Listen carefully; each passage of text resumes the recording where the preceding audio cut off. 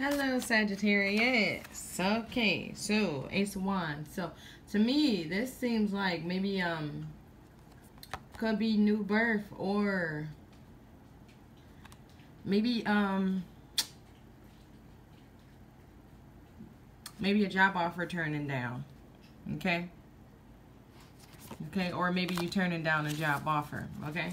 Or turning down the fact that you want a kid or not. Alright, let's go. So, it's Malady from Malady's Way Tarot, and I'm coming to do your weekly weekend reading for the weekend of Friday, the 13th, October 2017. The cards I am using today are The Wild and Unknown Tarot by Kim Cran. Uh, I got this deck oh, like when I first started, but you know I didn't want people to think I was dark. Even though these are beautiful cards, they're kind of they're kind of dark, but they are beautiful. so I decided to use them because it's Friday the 13th. I'll probably go back to normal next week. But enough with my babbling. Make sure to check your sun and rising signs if you want a personal reading. Description box below. And let's get this show on the road. All right, what's going on for the Sagittarius? Sagittarius. What's going on for the Sagittarius for the weekend? Uh, Sagittarius for the weekend. Uh, Sagittarius for the weekend of October 13th. October 13th, 2017. Wow, I just felt like somebody was choking me. So I don't know what's going on. But you guys need to be careful around aggressive people. Try not to make people mad or try not to choke nobody, okay?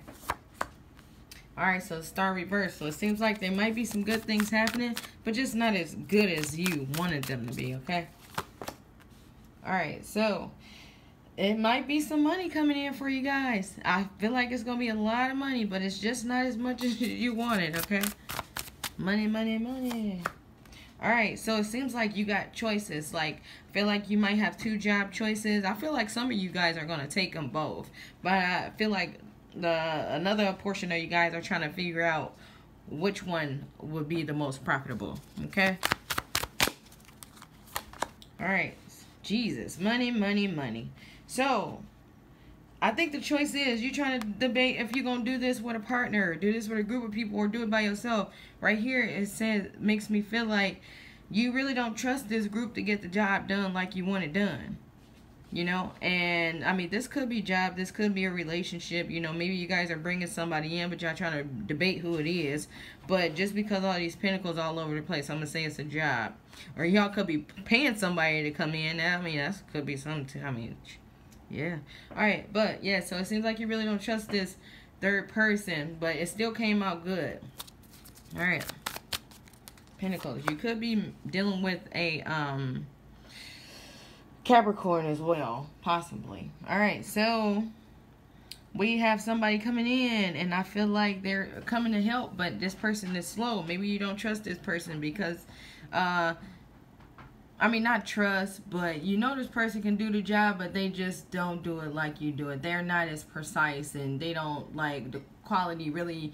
It, it, it matters like 80% to them, but it's 110 for you. So you don't trust this person worth uh, work ethic. So you just like, uh, do I want to use this person or not, or do I want to do it myself? You know.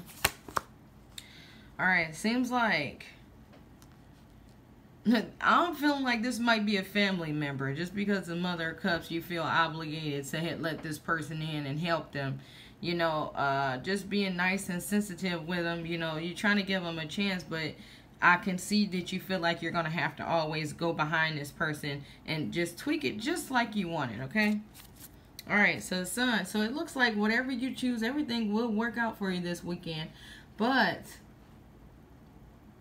that's all I have. Make sure to check your sun, moon, and rising signs. If you want a personal reading, check in the description box below. Email me and we can set something up. Other than that, you guys have a wonderful weekend.